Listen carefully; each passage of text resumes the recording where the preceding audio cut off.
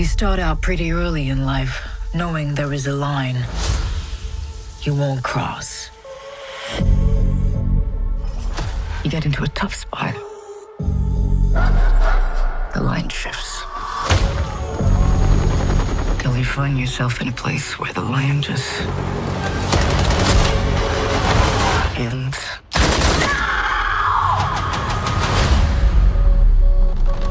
We leave for DC in an hour. ISIS abducted girls from a school in Afghanistan. We need you to lead a new team. This rescue mission's the only hope these girls have.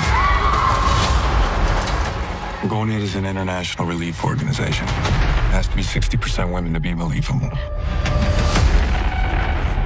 This is someone's idea of a safe house.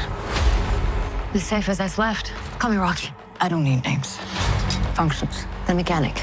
Call me geek. So you're a tech. I'm medic, weapon specialist, and explosives. You never know when a skill will come in handy.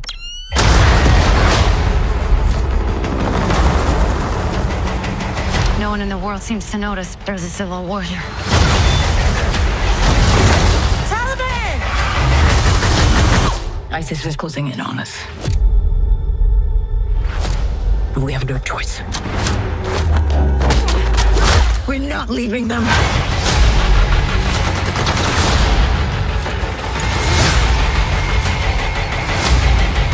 So call it We shoot our way out. We have 12 hours to find the girls. Or we never find the line again.